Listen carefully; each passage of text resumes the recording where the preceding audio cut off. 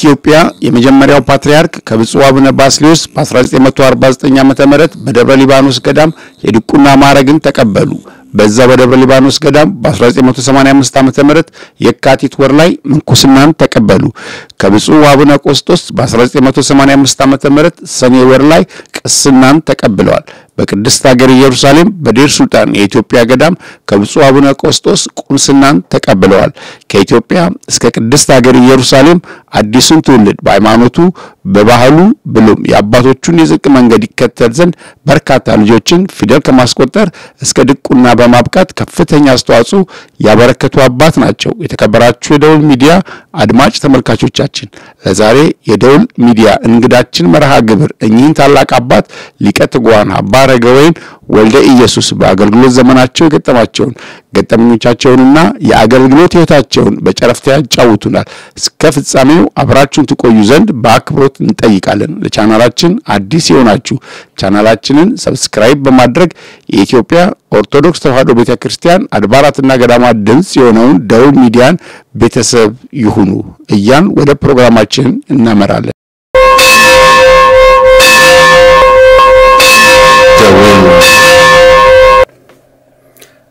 በቅድሚያ ጥሪያችን አክብረው በደውል ሚዲያ ስቱዲዮ ስለተገኙ በደውል ሚዲያ አድማጮች፣ ተመልካቾችና በራሳችን ስም በእግዚአብሔር ስም እናመሰግናለን።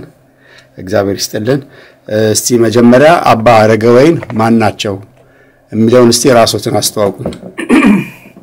በስመ አብ ወወልድ ወመንፈስ ቅዱስ አሐዱ አምላክ። እናንተም እዚህ ለዚህ ለጥያቄና መልስ ስለጋበዛችሁኝ አመሰግናለሁ።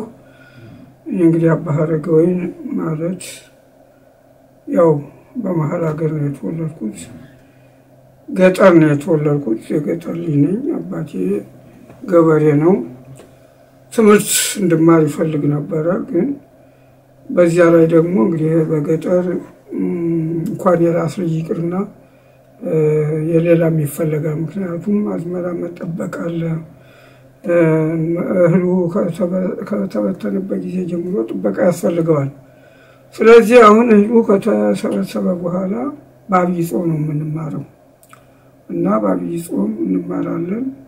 ሰኔ ሲገባ ጀምሮ ወደ ስራ እንሰማራለን እና እስከ ጥር ድረስ አዝመራው እስከሚገባ ድረስ ትምህርቱ ይቋረጣል። ከዚያ በኋላ ደግሞ የተማርነውን ረስተን እንደገና በአመቱ ጾም ነው የምንጀምረው። ስለዚህ እንግዲህ ይህን ትምህርት መግፋት አልቻልኩም። በተወለድኩበት አካባቢ በዚያው ፊደል ቆጥሬ ዳዊት የደገምኩት እዚያው በተወለድኩበት አካባቢ ነው። ከዚያ በኋላ ወደፊት መቀጠል ስላልቻልኩ ከወላጆች ተለይቼ ወደ ሌላ ሀገር ሄድኩ ማለት ነው እና እንግዲህ የሄድኩበት እንግዲህ የቆሎ ተማሪ ትምህርት ቤት ነው፣ የአብነት ትምህርት ቤት። ከዚያ ሄጄ የሄድኩበት ቦታ ምዕራፍ ጸመድጓ የዘወትር ምዕራፍ ጸመድጓ ይባላል። እሱን ተምሬ እሱን ከጨረስኩ በኋላ እንደገና አቋቋም የሚባል ትምህርት ቤት ሄድኩኝ። ይሄ ወዴት ነው? በዚህ በወሎ ክፍለ ሀገር ውስጥ ወራኢሉ የሚባል የአቋቋም መምህር አሉ።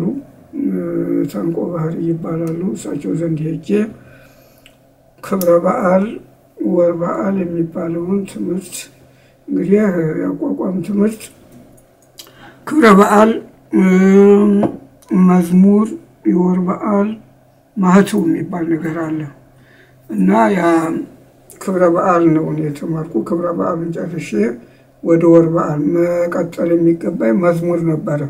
እኔ የተወለድኩት ክፍለ ሀገር ገጠር ስለሆነ ይሄ መዝሙር አገልግሎት የሚሰጠው በታላላቅ አድባራት ውስጥ እሁድ እሁድ ነው አገልግሎት የሚሰጠው።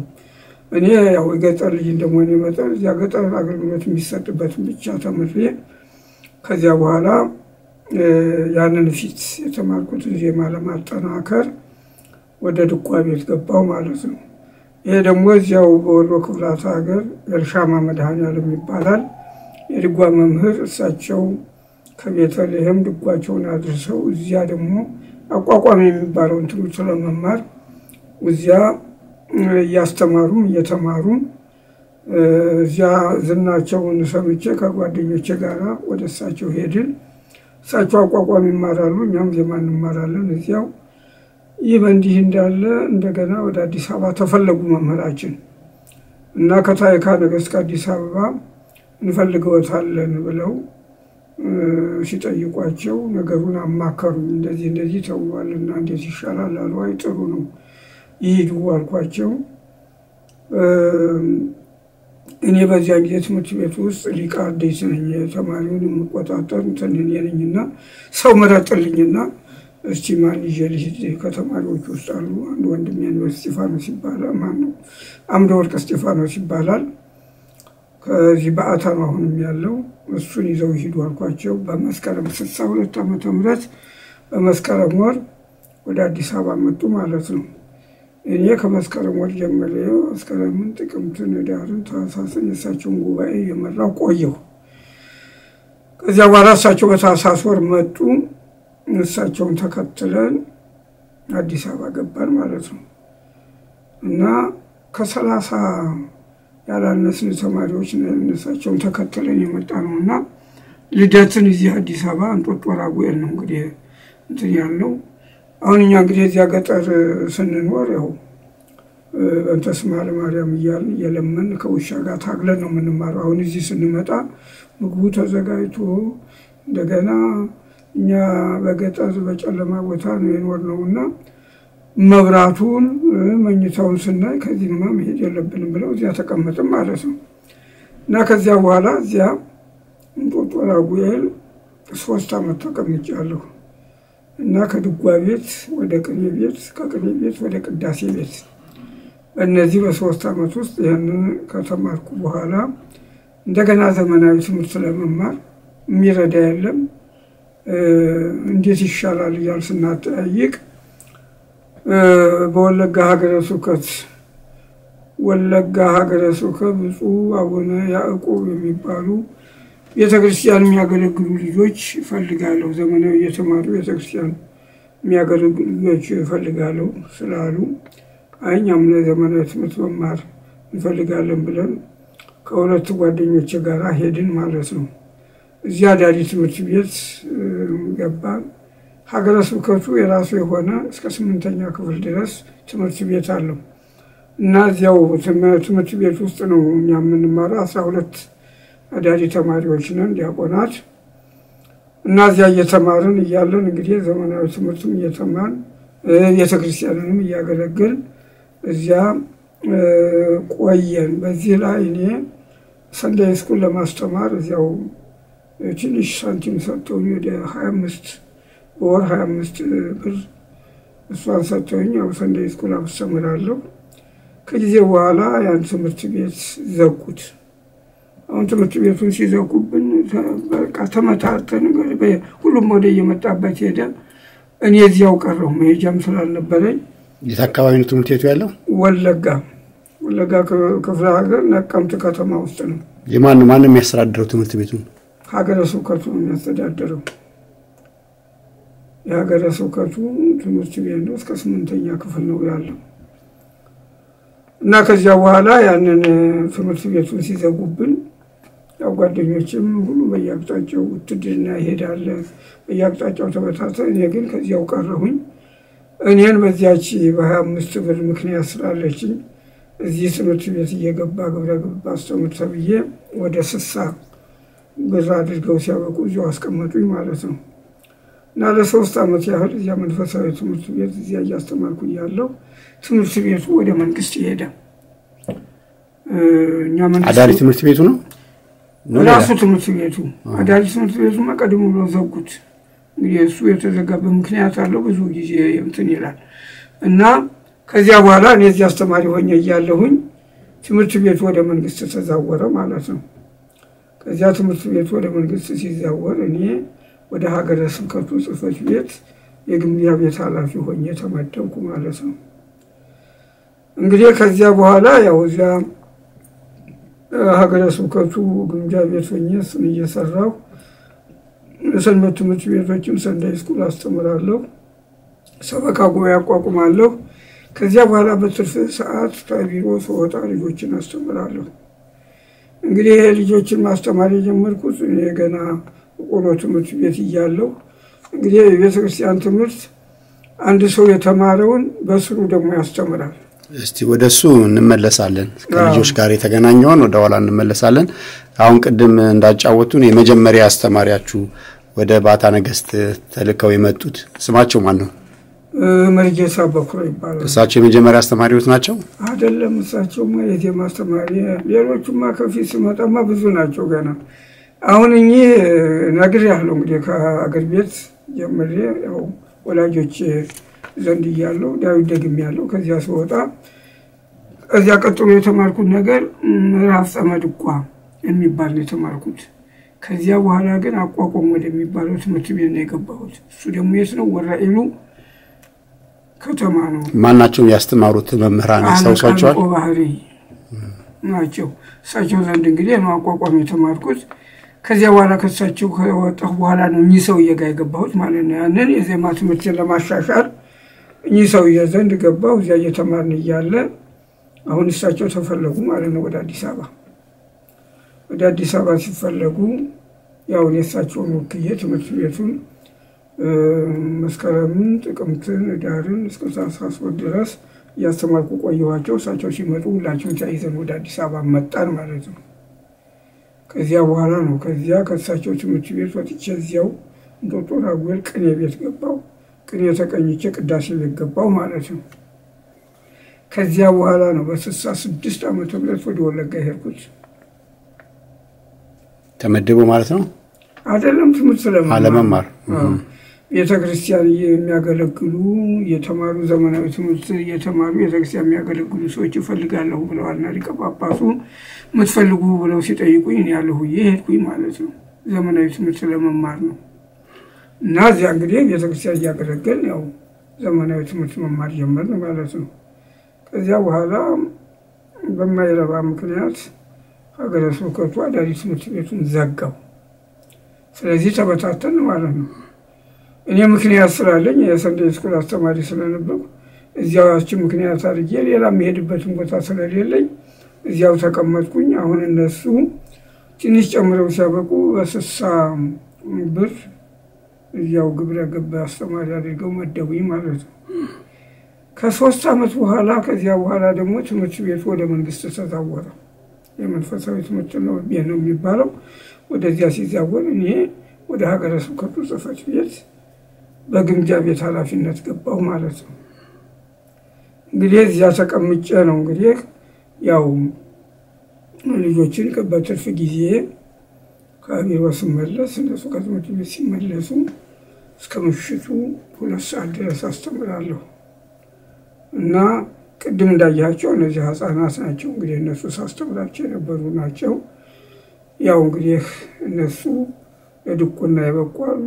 ያው ሴቶቹም ቤተክርስቲያን ዘማሪያን ሆነው እስካሁን ድረስ በሄዱበት ቦታ ያገለግላሉ። በአውሮፓም በአሜሪካም የተዘዋወሩ እስካሁን ድረስ እያስተማሩም አሉ። ቤተክርስቲያን እያገለገሉ ማለት ነው። አይ ጥሩ። አንድ ጊዜ እዚህ ከአሜሪካን ሀገር የመጡ አገልጋዮች እዚህ በደብረ ገነት ኪዳነ ምሕረት አዳራሽ አገልግሎት ላይ እርስዎን አይተውት በጣም ነው የተደሰቱት። ያስተማሩ ናቸው። ሕፃን ሆነን ፊደል አስቆጥረውናል፣ ለድቁና ያበቁን እሳቸው ናቸው ብለው ስለ እርስዎ ምስክርነት ሲሰጡ ነበረ እና በትልልቅም ደረጃ የደረሱ አሉ ማለት ነው። አሁ እንግዲህ እነዚህ ልጆች እዚያ ወለጋ የተማሩት አሁን አሜሪካ ነው የሚኖሩ ሁለቱም ሁለት ዲያቆናት ናቸው። እዚያው እኔ ነኝ ያስተማርኳቸው። አሁን እነሱ እዚያ ተምረው አንደኛው ዘዋይ ገዳም ገብቶ እዚያ ኮርስ ተምሮ ጥሩ ሰባኪ ወንጌል ሆኖ ነው የወጣው። ከዚያው እንግዲህ ወደ አሜሪካን የሄደው ከወለጋ። ይሄ ቀሲስ አንዱ አለም ይርዳው ይባላል። ጳውሎስም ገብቶ እዚያ ሰልጥኖ ነው የወጣው። ከዚያ በኋላ ወደ አሜሪካ እዚያ የነበሩ ሊቀ ጳጳስ አቡነ ዜና ማርቆስ ይባሉ ነበር። እሳቸው እዚያ አሜሪካ ሲሄዱ እሱን በዚያው ይዘውት ሄዱ ማለት ነው። አሁንም እዚያው ነው ትዳር ይዞ ልጆች ወልዶ እዚያው ነው የሚኖረው። ሁለተኛው ቀሲስ ነህመያ ይባላል። እሱም እዚያው ነው የተማረው። እዚያው አስተምሬው እዚያው ወለጋ ይቀድስ ነበረ። አሁን ቤተሰቦቹ የነበሩት እዚህ አዲስ አበባ ኮልፌ ነው። እዚያ መጣ። እሱ ደግሞ ሰዋስወ ብርሃን ገብቶ እዚያ ሰልጥኖ አሁንም እሱ ውጭ ወጥቶ እዚያው እንግዲህ እሱ ነበረ እዚህ መጥቶ ሲመሰክር የነበረው። በጣም ቆንጆ ነው። በጣም ጥሩ ነው። ቀደም ብለው ነው እርስዎ ልጆችን መሰብሰብና ማስተማር የጀመሩት። ወደ እስራኤልስ እንዴት መጡ? በስንት ዓመተ ምህረት ነው የመጡ ወደ እስራኤል? እንግዲህ ወደ እስራኤል የመጣሁበት በሰማንያ ስድስት ዓመተ ምህረት ነው። በሰማንያ ስድስት ዓመተ ምህረት ያው እዚህ ያሉት ሊቀ ጳጳስ እዚያ ሰንበት ትምህርት ቤት ማስተማሪያን ስለሚያውቁ እዚህም ያሉትን ያስተምርልናል በሚል እዚያ ስጠይቃቸው በቀጥታ እዚህ እንዲመጣ አደረጉ። የመጣሁት በስልሳ ነው በሰማንያ ስድስት ዓመተ ምህረት ሚያዝያ ሀያ አንድ ቀን ነው እዚህ የገባሁት። ማን ነበሩ የዛን ጊዜ ሊቀ ጳጳስ? እዚህ ብፁዕ አቡነ ማቴዎስ ነበሩ። ከዛስ እዚህ ከመጡ በኋላ መጀመሪያ እየታረፉ ከዛስ የት የት ገዳማት አገለገሉ? በምን ኃላፊነት አገለገሉ? እዚህ ከመጡ በኋላ ያገኙት የማዕረግ ስሞች አሉ ወይ? እስቲ ስለዚህ ሀገር ደግሞ ስለ አገልግሎቱ ጠቅላላ አድርገው ግለጹልን። እንግዲህ የዚህ ሀገር ከመጡ አገልግሎት መጀመሪያ መንበረ ጵጵስናውን የተቀመጥኩት ወደ አንድነቱ የገባሁት ሐምሌ አንድ ቀን ነው። ከዚያን ጊዜ ጀምሮ እዚህ መንበረ ጵጵስናው ያለው ገዳም አረጋዊ እዚያ ተመድቤ እዚያ ነበር ሳገለግል የነበረው። አንደኛ የዚያ የገዳሙን ንብረት በገዳሙ ንብረቱን እሱን በኃላፊነት ቤተ መጽሐፍት አለ የእሱን ኃላፊነት ጨምሬ እዚያ እያገለገልኩ አስራ አንድ ዓመት ተቀምጫለሁ እዚያ እና እንግዲህ እዚያ ነው እንግዲህ አብዛኛውን ጊዜ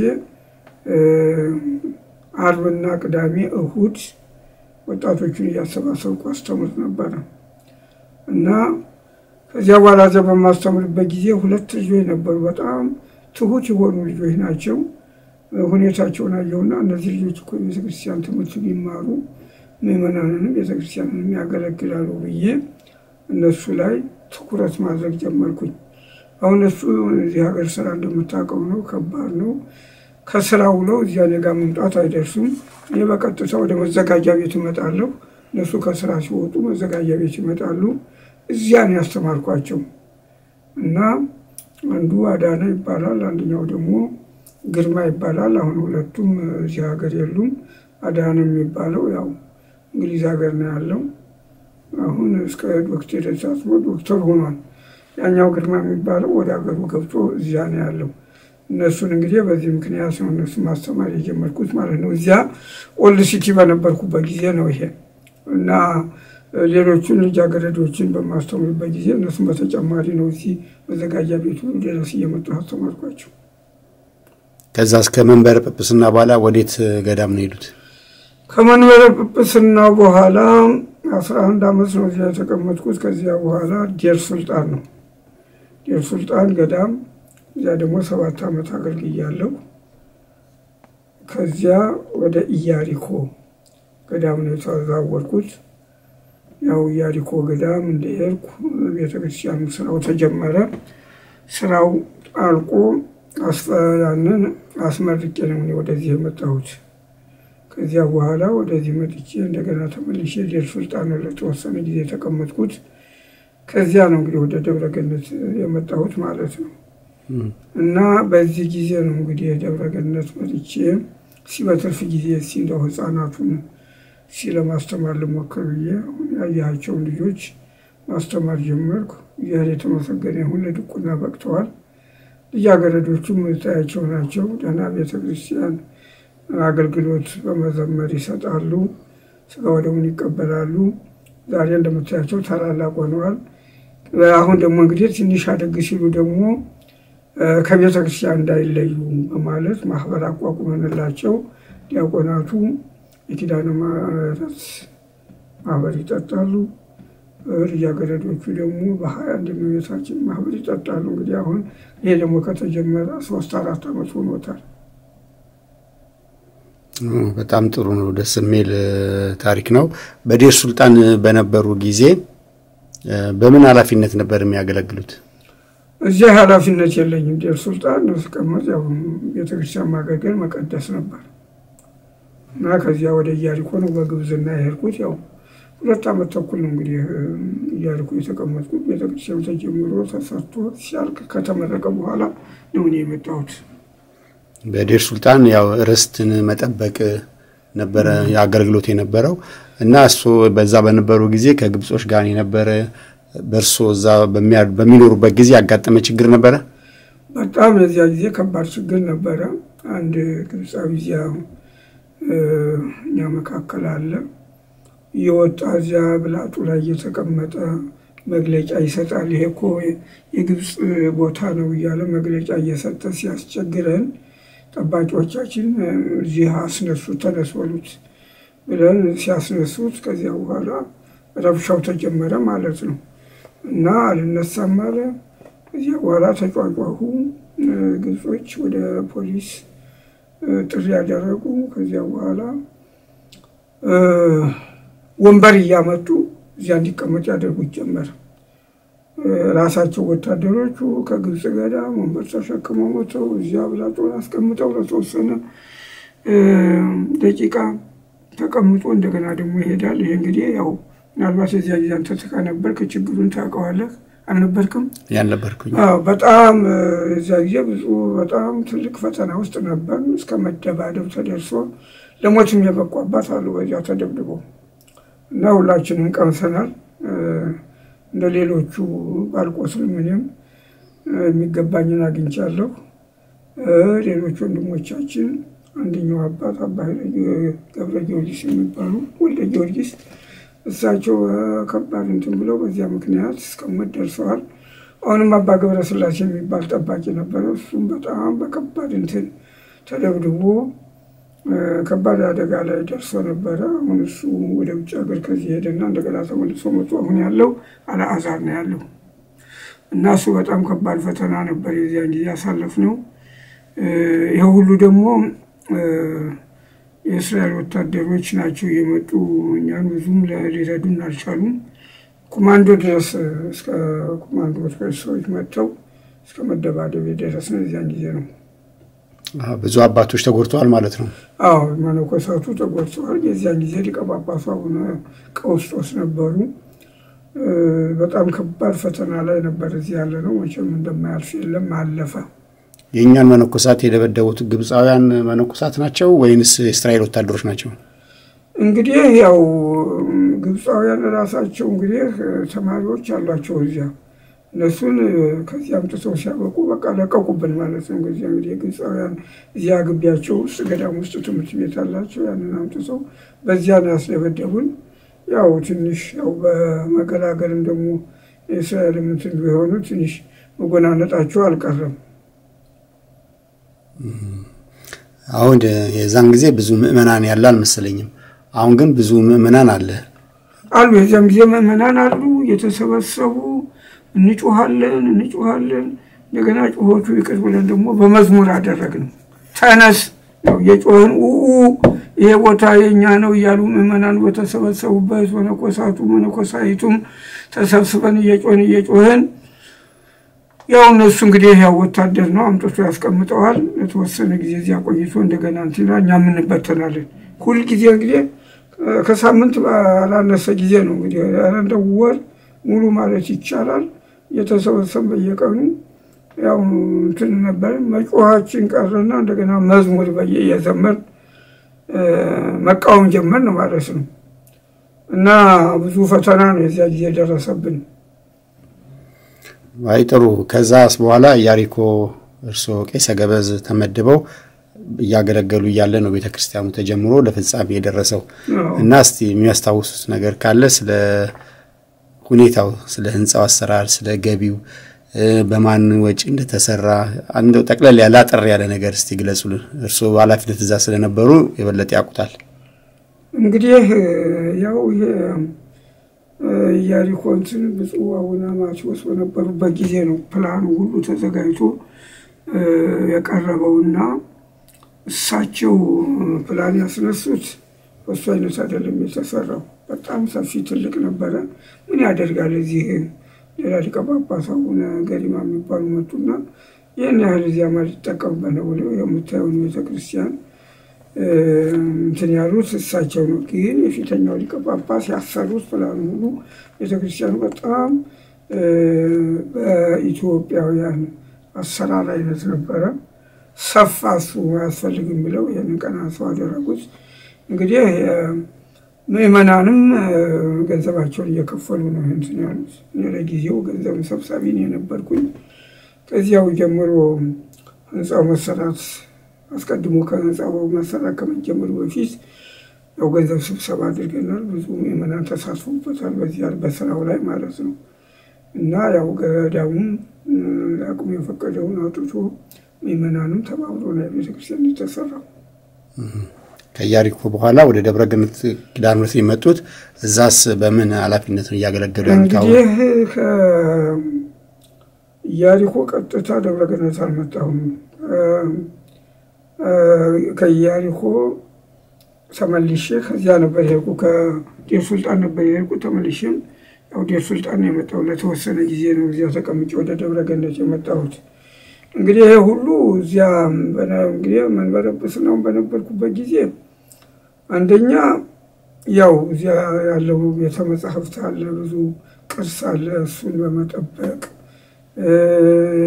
የዚያ የገዳሙ ንብረት ጳጳሱ ያሉትን ንብረቶችን እነሱን በመቆጣጠር ነው እንግዲህ ግብዝናውም እዚያ የገዳሙ ጸሎት እያደረስኩኝ እዚያ ከዚያው ደግሞ ሆኜ ደግሞ የገዳሙን ጸሐፊ ሆኜ እዚያው ሰራ ነበረ።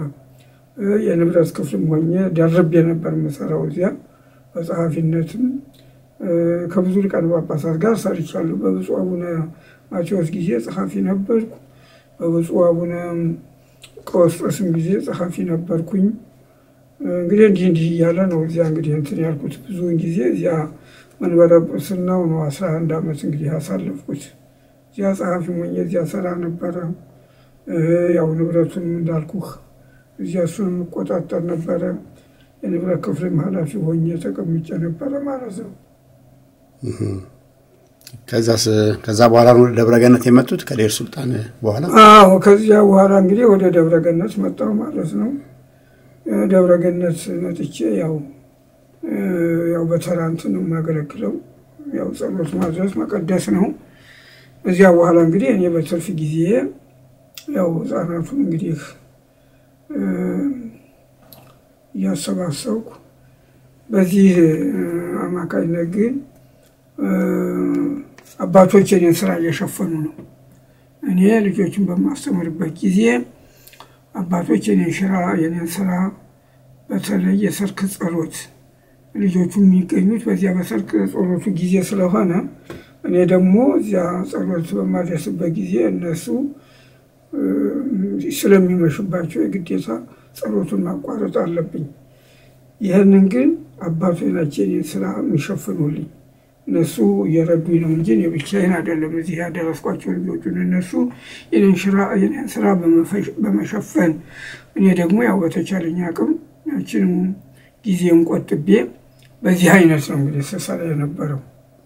እንደው ከባድ ነው እዚህ ሀገር ውጭ ሀገር የእኛን ሃይማኖት ባህላችንን ማስተማር የቋንቋ ችግር አለ፣ የሀገሪቷ ሁኔታ ችግር አለና በጣም ከባድ ነው። እንደው በጣም አልከበዶትም? ምንም አማርኛ መናገር የማይችሉ ልጆችን ኮትኩቶ አሳድጎ ለድቁና እስኪበቁ ድረስ ማሳደግ አይከብድ? ከባድ አይደለም? በጣም ከባድ ነው። እንግዲህ ያው በአይን በከንፈር ነው እንግዲህ ከእነሱ ጋር የምንግባባው። ወላጆቻቸው አማርኛ ተናጋሪ ሆነው አማርኛ ያልነገሯቸውም ራሳቸው ዕብራይስጡን ቋንቋ ለማሻሻል እያሉ ከልጆቻው መማር ይፈልጋሉ። ስለዚህ ልጆቻቸውን በድለዋቸዋል። በዚህ በቋንቋ በኩል እኔ ጋር ሲመጡ ምንም ነገር አያውቁም። በቃ ያው እንግዲህ እንደዚሁ እንዳልኩህ እንደው በጥቅሻም በምንም እያል ወዲያው እንግዲህ እዚህ ሀገር ልጆች ጭንቅላታቸው ክፍት ነው። ብዙም አላቆያቸውም እንግዲህ አማርኛ ሲለምዱ ማለት ነው። እና ያው በቀላሉ እንግዲህ እየገባቸው ሄደ።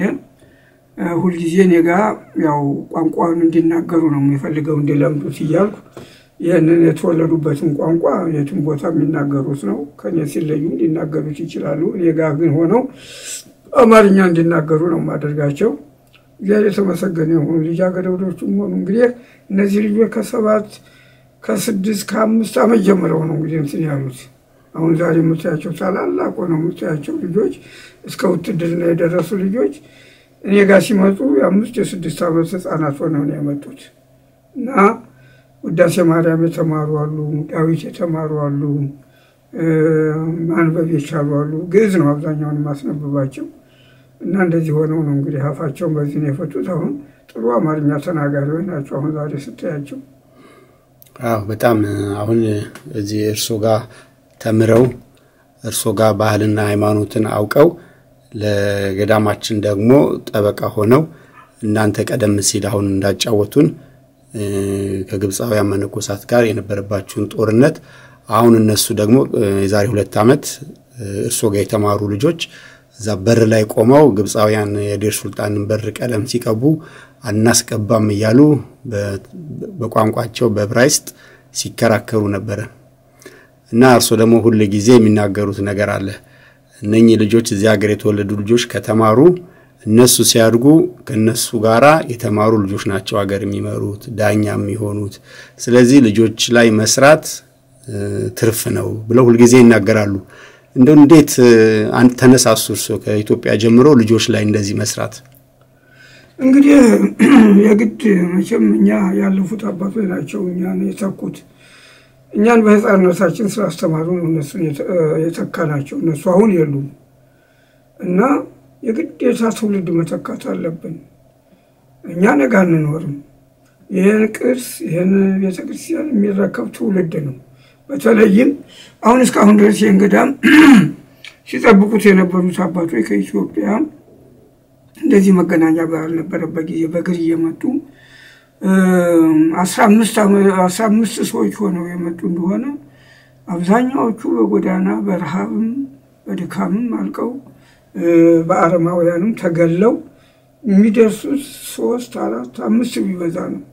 እንደዚያ ሆነው መጥተው ይህን ገዳም ያቆዩን እና እኛ እግዚአብሔር የተመሰገነ ይሁን። የመጣሁት እንደነሱ ደክሜ በአውሮፕላን የመጣሁት። እና እነዚህ ልጆች ደግሞ አሁን እንግዲህ አሁን እኛ የቋንቋ ችግር አለብን። ከዚያ ስንመጣ ያው በአስተርጓሚ ካልሆነ በስተቀር ከእስራኤላውያን ባለስልጣናት ጋር እንደ ልባችን ተገናኝተን ለመነጋገር ይከብዳል።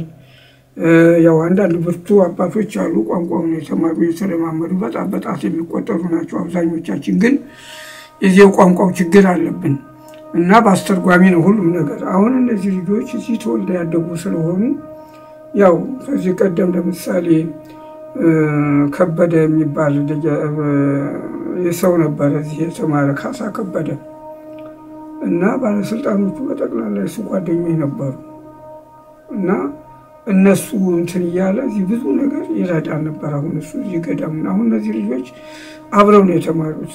እነዚህ አብረዋቸው የተማሩ ልጆች ነገ ጠቅላይ ሚኒስትር፣ ፕሬዚደንት የሚሆኑት እነሱ ናቸው፣ ጓደኞቻቸው ናቸው ማለት ነው። ችግራቸውን በቋንቋቸው አብረው አደጎች ናቸው። በቋንቋቸው ያስረዷቸዋል፣ ድጋፍ ሊሰጡን ይችላሉ። ስለዚህ የግዴታ ትውልዱ ላይ መስራት አለበት። እኔ እዚህ ከመጣሁ ሳይሆን ሀገሬም ቢሆን ይሄ ነበር ዓላማዬ፣ ትውልድ መተካት እና የሚገርምህ ነገር አሁን እኔ ለእነዚህ ጥንካሬ የሆኑኝ ኢትዮጵያ ያስተማርኳቸው ልጆች ናቸው። እዚህ ከመጣሁ በኋላ ግንኙነት አልነበረንም። አሁን በቅርብ ጊዜ ሄጄ አዲስ አበባ እንደገባሁ እንዲህ እገሊትም እኮ እዚህ ናት፣ እገሌም እዚህ ነው፣ እንዲህ እያሉ ተሰባስበው አንድ አስራ አምስት ሆነው መጡ በአንድ ጊዜ። እነዚህ ልጆች ቅድም ያሳየሁ ናቸው። እዚያ ላይ ህፃናት ሆነው እኔ አሁን ምንነሳቸው ለይቼ ማወቅ አልቻልኩም። እና ናፈቁኝና ፎቶግራፋቸውን ላኩልኝ አልኩና ፎቶግራፋቸውን ላኩ። አሁን ልጆች መሆናቸው ነው እንጂ አስቴር ትሁን ኤልሳቤጥ ትሁን ሶሎሳ ይሁን ገቤሳ አላቃቸውም። አሁን ይዤና ሄድኩና እዚያ መጣ ሲሏቸው ይመጣሉ። ከክፍለ ሀገር እኔ መምጣቴን ከሰሙ አዲስ አበባ በቀጥታ ከያሉበት ይመጣሉ። እና ያንሳሳያቸው ይሄ እኮ ገሌ ነው፣ እቺ እኮ ገሌ፣ ይሄ እኮ እኔ ነኝ ይሉኛል እዚያ እና በጣም የሚገርም ነገር የት እንዳሉ አሁን በየአውሮፓ ያሉ አሉ፣ አሜሪካን ያሉ አሉ። ሁሉም ደግሞ እዚያ ስቶ ያስተማሩ ልጆች አንድ የሚወደቀ የለም። በኢኮኖሚውም እምነቱንም ጠብቆ ነው ያለ ሲሆን እኔም ወር አልተሰማኝ። እንኳን ደከምኩኝ አልኩኝ። እና አሁን አንድ ጊዜ እነዚህ እዚህ ሳስተምራቸው አበሳጭተውኝ እንደው ከንቱ እኮ ነው የምደክመው። አሁን እናንተ አሁን እንደው ሰው ትሆናላችሁ ብዬ ነው እያልኩ ስበሳጭ። ለካ አንድ ሰው በሩ ላይ ቆሞ ኖሯል። እና አዳምጡ አዳምጡ አንኳኳ ግባ አልኩት። እና ቆይቻለሁ እኮ ከመጣሁ ሲበሳጩ ነው አለኝ። ምን ላድርግ ሲመቱ ላትነጭ ይባላል። እኔ እነሱ ይማራሉ ብዬ እኔን ጦጣ አደረጉኝ አልኩና ስለ አይ ያሉ ሰው እኮ ውጭ ባያውቁት ነው አለኝ። እዚህ ውጭ ያሉ ልጆችና እርስዎ ጋር ያሉት ምድርና ሰማይ ናቸው አለ። እንዴ ለካ ይሄም አለ እንዴ ብዬ ከዚያ በኋላ እኔም ደግሞ ተጽናናሁ ማለት ነው። እና እግዚአብሔር የተመሰገነ ይሁን። እነዚህ ልጆች በህፃነታቸው ሲመጡ እኛ እኮ በህፃነታችን ሀገራችን ኢትዮጵያ በፍልሰታ እንቆርባለን እናንተ ለምን አትቆርቡም ስላቸው ወዲያው ተቀብለው ሲያበቁ እስካሁን ድረስ እየቆረቡ ነው ያሉት። አሁን እነዚህ ልጃገረዶች ሁሉም ቆራቢዎች ናቸው። ለዚህ ማህበር የሚጠጡት ሁሉ እና ለዚህ ነው እንግዲህ አሁን እኔ አሁን እንግዲህ ያሰብኩት ነገር ግን መቼም ሙከራ ነው እንጂ መቼም እንትን አይደለም እና ሙከራው ለጊዜው ጥሩ ነው ባይነኝ እኔ እና ይህንን ደግሞ ሌላው ትውልድ አይቶ ደግሞ ቢተካ በጣም ጥሩ የበለጠ ሊሆን ይችል ነበረ። እንዳውም አሁን በየገዳማቱ ትምህርት ቤት የሌለው ገዳም የለም። ግብጾች አላቸው፣ ግሪኮች አላቸው፣ ላቲኖች አላቸው፣ አርመኖች አላቸው። ሁሉም ትምህርት ቤት አለው እና የራሳቸውን ዜጋ ብቻ አይደለም ያስተምሩት፣ የሀገሩንም ዜጋ ያስተምራሉ። እነዚህ እነሱ ያስተማሯቸው ልጆች ሙስሊሙም ቢሆኑ ምንም ቢሆኑ ድጋፍ ይሰጧቸዋል። የተማሩበት ትምህርት ቤት ያደጉበት ስለሆነ ማለት ነው። እና እኛም ይሄ ሲሆን እኛም እንደ ሌሎቹ ትምህርት ቤት ከፍተን ገዳሙ ትምህርት ቤት ከፍቶ ወደፊት ኢትዮጵያውያኑን በብዛት እንዲማሩ ቢያደርግ በጣም የበለጠ ሊሆን ይችላል። አሁን የኔ ሙከራ ነው። የሚገፋበት ካለ በዚህ እኔ ነገ አልኖርም። ሌላው ሰው ተተክቶ ደግሞ እንዲህ ያለ ሙከራ ካደረገ ቀላል ነገር አይደለም ሙከራችን። አሁን እነዚህ ልጆች ቤተክርስቲያን ያገለግላሉ፣ ምዕመናንን ያገለግላሉ። አገልግሎታቸውን ታያለህ። ወንጌል ሲያሳልሙ፣ ቅዳሴ ጸበል ሲሰጡ፣ አባቶች የደከማቸውን አባቶች ሲያሳርፉ፣ ይሄ ቀላል ነገር አይደለም እና ስላስተማርናቸው ነው አይደለም እንዴ? ሌላውማ እዚሁ አካባቢ የብዙ ክርስቲያኖች ልጆች እዚህ ያልመጡት ምንም ስለ ቤተ ክርስቲያን መጥተው አያውቁም። እንደውም እንኳን ማስቀደስ መቀደስ ይቅርና መጥተው እንኳ ቤተ ክርስቲያን ሰው መግቢያው ቤት እንደሆነ እንኳ አያውቁም። እዚሁ ያልመጡት ማለት ነው የክርስቲያን ልጆች። ይህን ነው የሚመስለው። በጣም በእውነት ትልቅ ስራ ነው እየሰሩ ያለው። ከገዳሙ አባቶች ያው ድጋፍ እንደሚያገኙ የነገሩን እነሱ ስለሚደግፉት የእርሱን የአገልግሎት ስራ ስለሚሸፍኑ እርስዎ በተራ ጊዜዎት ከልጆቹ ጋር ያሳልፋሉ። ይሄ በእውነት ትልቅ እነሱንም የሚያስመሰግን ነው።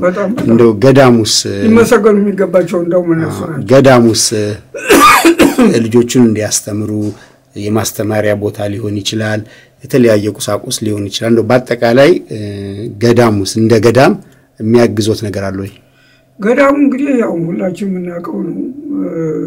በዚህ እያለ የነፈገኝ ነገር የለም። ግን የለም የምናስተምርበት ቦታ እንደምታየው ነው፣ አጭር ነው።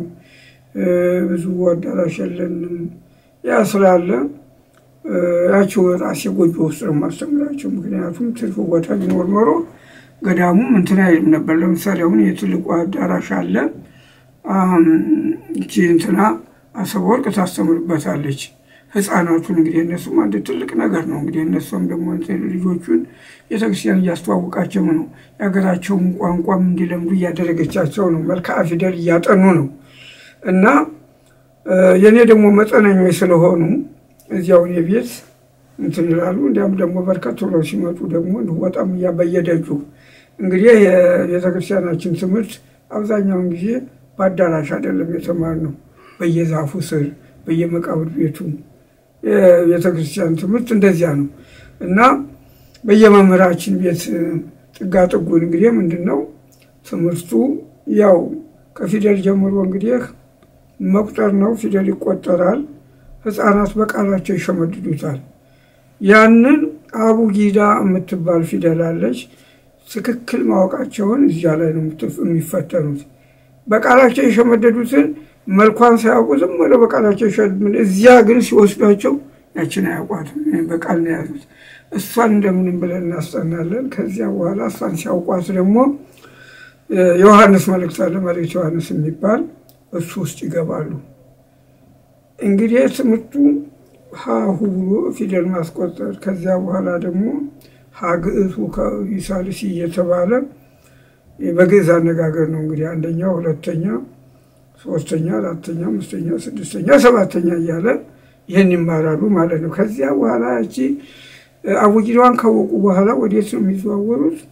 ወደ ዮሐንስ መልእክት መልእክት ዮሐንስ ወደምትለው ይሄዳሉ። እዚያ ቁጥር ይቆጥራሉ ማለት ነው።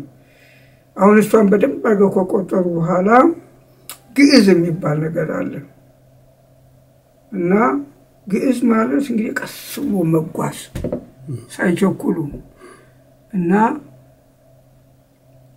መልእክተ ዮሐንስ እንደኔ ያለ ሽማግሌ ቀስ ብሎ መሬት እንደሚረግጥ ይሄ ቀስ እያሉ መጓዝ ማለት ነው። እንግዲህ ግዕዝ ማለት ያንን ከጨረሱ በኋላ ደግሞ ውርድ ንባብ የሚባል ነገር ደግሞ አለ። ከትልቁ ንባብ ዝቅ ብሎ ወረድ ብሎ መልእክተ ዮሐንስ ሐዋርያ ይባላል። ደግሞ እሱ ይሄን ይማራሉ። ከዚያ በኋላ ቀጥሎ ንባብ ይማራሉ። ንባብ ማለት ደግሞ ጮሆ መናገር መልእክት ዮሐንስ ሐዋርያ አሁን ቤተክርስቲያን እንደምትሰማው ማለት ነው። እና ይቺ መልእክት አራት ጊዜ ነው የሚማሯት። መጀመሪያ ቁጥር፣ ከዚያ ግዕዝ፣ ሁለተኛ ውርድ ንባብ፣ ከዚያ ንባብ። ከዚያ በኋላ እንግዲህ ይችን በደንብ አድርገው ካጠኑ በኋላ ወደ ተለያዩ መጽሐፍት ማንበብ ጳውሎስ መልእክታትን ሁሉ ነገር እንግዲህ የተለያዩ ድርሳናትን ገድላትን ያነባሉ። በደንብ ሲያነቡ እሱን ደግሞ ዳዊት ይገባሉ ማለት ነው። ዳዊት ደግሞ በደንብ ከተማሩ በኋላ እንግዲህ ይሄ እነዚህ እንግዲህ በሀገራችን በቤተክርስቲያን ከሆነ ሙሉ ቀን መጽሐፍት ነው ስንማር የምንውለው። ማታ ደግሞ ከአስራ ሁለት ሰዓት በኋላ እስከ ምሽቱ ሁለት ሰዓት ሶስት ሰዓት ደግሞ ቃል ትምህርት ደግሞ ውዳሴ ማርያም፣ ምክረ ማርያም ይባላል። ያን በቃላችን ነው የምንማረው። እነዚህ ደግሞ ጊዜ ስለሌላቸው በዚያቸው ባላቸው ቃል ትምህርቱንም የመጽሐፉንም ና እዚያቸው እያሸጋሸግን ነው የምናስተምራቸው። ጊዜ የላቸውም እነዚህ ልጆች እና በዚች ነው ጠንካሮች ናቸው። ይችን ተጠቅመው በዚች ባለቻቸው ጊዜ ቢያንስ እንግዲህ ከኔ ጋር የሚቆዩት ከመጡ ሁለት ሰዓት ሶስት ሰዓት በዚች ተምረው ነው እዚህ ደረጃ የደረሱት ማለት ነው። በጣም ደስ ይላል። እንደው እንትን የትምህርትም ይማራሉ፣ የትምህርታቸው መደበኛ ትምህርት ይማራሉ። እሱ ጋር ደግሞ በትርፍ ጊዜያቸው ነው እየመጡ የሚማሩት እና ረጅም ጊዜ አይወስድባቸውም። አሁን ድቁና የተቀበሉ ብዙ ህጻናት ልጆች አሉ። በስንት ጊዜ ነው የሚጨርሱት? እንግዲህ ያው ብዙ ጊዜ ነው እንትን የሚፈጀው ሁለት ዓመት ሶስት ዓመት ቆይተዋል። እንግዲህ እነዚህ ልጆች አሁን እንግዲህ እንደነገርኩ ከስድስት ከሰባት ከስምንት ዓመት ጀምረው ነው አሁን እንግዲህ ወደ አንድ አስራ ሁለት ዓመት ሲሆናቸው ነው ወደ ድቁና እንግዲህ የደረሱት። እንትንስ ከወላጆቻቸው ጋራ እርስዎ ያሉት ግንኙነት እንዴት ነው? ከወላጆቻቸው ጋር መልካም ግንኙነት ነው ያለን። ያው ሲቀሩ ለምን ቀሩ እላችኋለሁ። ያው እንግዲህ እነሱም ቁጥጥር ያደርጋሉ እንዳይሰንፉ፣ በመንገድ እየተጫወቱ እንዳይቀሩ። ዛሬ አልመጣም ልጅህ፣ ዛሬ አልመጣም ልጅህ ለምንድን ነው ምክንያት እጠይቃለሁ። ምክንያቱ አሳማኝ ከሆነ ያው እቀበላለሁ፣ አሳማኝ ካልሆነ ደግሞ ማስጠንቀቂያ እሰጣለሁ። ለምን እኔ ብዙ ደክሜባቸዋለሁ። እነዚህን ለማስተማር እነዚህን ህፃናትን ለማስተማር በጣም ችግር ነው። እንግዲህ ከቋንቋው ጀምሮ በጣም በጣም ድካም ነው ስደክመው እነሱ እንትን ለማለት በጣም ደክመ ነው። ስለዚህ ደክመ ደክመው ሲያቋርጡ በጣም እንትን ይላል፣ ያናድዳል። ስለዚህ ከወላጆች ጋር ያው ግንኙነት እያደረግን እነሱን ክትትል እያደረጉ በዚህ አይነት ነው የምንጠቀመው። እርሶስ እርስዎ መጨረሻ እስከምን ድረስ ነው የሚያስተምሯቸው? እርስዎ ካስተማሯቸው በኋላ ከእርሶ ቀጥሎ የሚቀበሉት የሚያስተምራቸው አባቶች አሉ? ሌላ የለም። ሌላ እኔን ተቀብሎ የሚያስተምረ በሩ እስከሚዘጋ ድረስ የቤተክርስቲያን በር ነው የምናስተምራቸው። አሁን ከአሁኑ ከአራት ሰዓት ይጀምራሉ። ያው እንግዲህ በሩ እስከሚዘጋ ድረስ እኔ ጋ ይቆያሉ። ከዚህ ወደ ቤታቸው ሰዓቱን ማለት ሳይሆን የቤተ ክርስቲያን ትምህርትን አሁን እርስዎ ሙያ ሙያዎች አሉ አይደል? ወይ ንባብ እንደዚህ እርሱ ያስተምራሉ። ከዛስ ሌላ አባት እንደርሱ የሚያስተምሩ አሉ እና አባ ኒቆዲሞስ ምንድን ነው የሚያደርጉት? እሳቸው ጋር እሳቸው እንግዲህ እኔ እሳቸውን ወደ ኢትዮጵያ ሲሄድ እነዚህ ልጆች ደግሞ የተማሩትም እንዳያጠፉ ብዬ እሳቸውን አደራ ብዬ ነው የሄድኩት። እስከዚያ ድረስ እኔ ስመጣ ድረስ እያስተማሩ ቆይተውኛል። ከዚያ በኋላ ደግሞ በሁለተኛ ጊዜ ደግሞ ወደ ኢትዮጵያ ሲሄድ አሁንም አባ ተክራር የሚባሉትን አባት አደራ ብዬ ነው የሄድኩት። ያው እኔ ስመጣ ወደ እኔ ይመጣሉ ልጆች ማለት ነው። ያው እንግዲህ የሚያስፈልጋቸውን ያው እንግዲህ አሁን የደረሱበትን ከንባቡም ከድቁናውም ከምኑም እንግዲህ አሁን እነሱ ዲያቆናት ከሆኑ በኋላ ወደ ኋላ አሉ እንጂ ብዙ መማር ይችሉ ነበረ። አቋረጡ። እንግዲህ ያችን የሚፈልጓትን ነገር አገኙ። በቃ ከዚያ በኋላ አሁን በየምክንያቱ ቀሩ እንጂ ብዙ መማር የሚችሉ ነገር ነበረ ቤተክርስቲያን። አሁን ዋናው ነገር በጣም ጥሩ ነው። በቅኔ ማህሌትም ስታያቸው አሁን እንዴት አለ ያገለግላሉ፣ ከበሮ ይመታሉ፣ ምን ይላሉ። በጣም ጥሩ ነው፣ ደስ ይላል። እንትንስ ከኢትዮጵያም ደግሞ የእርሱ ልጆች ሆነው ኢትዮጵያ ሄደው በገዳማት የተማሩ አሉ እንደ ናቲ አይነቱ እና እዛስ እርሶ ናቸው እርሶ ኖት የሚልኳቸው የሚያገናኟቸው ከመምህራን እንዴት ነው? እሱን እንግዲህ እኔ ነኝ። በተለይ የናቲ ነው በጣም ተሰጥኦ ያለው ልጅ ነው። ፍላጎቱ በጣም ሌላ ነው እና አሁን እዚህ ትምህርት ቤት ሲዘጋ አጉል በረፍቱ ጊዜ ትንሽ እንዳይበላሽ በሚል በቀጥታ ከወላጆቹ ጋር ተነጋግሬ ዘዋይ ላኩት። ዘዋይ ጥሩ አድርገው ተቀበሉት። እዚያም ተማረ። በጣም በጣም እንደ አፈር አይንካ ነው የሚሉት እዚያ። እንደ አጋጣሚ ሆኖ እናቱ ሜዳ ነበር። ለእናቱ ለሱም ቤት ሰርተው ቀለባቸውን ችለው እዚያ አሳለፈ ማለት ነው። አሁን ባለፈው ጊዜ ደግሞ እንደዚሁም በድጋሚ በነሐሴ ላኩት። ደግሞ ነሐሴ ልኬው እስከ የካቲት እስካሁን ወር ድረስ እዚያ ቆይቶ ነው የመጣው። በሌላ ጊዜ ደግሞ ደብረ ሊባኖስ ልኬዋለሁ።